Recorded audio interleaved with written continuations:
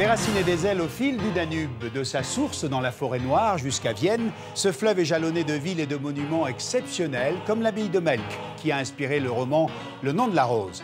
Budapest est l'une des plus belles capitales d'Europe. Parmi ses bâtiments emblématiques, nous découvrirons le Gresham Palace, chef-d'œuvre de l'Art nouveau, et les bains Széchenyi, typiques de l'art de vivre hongrois.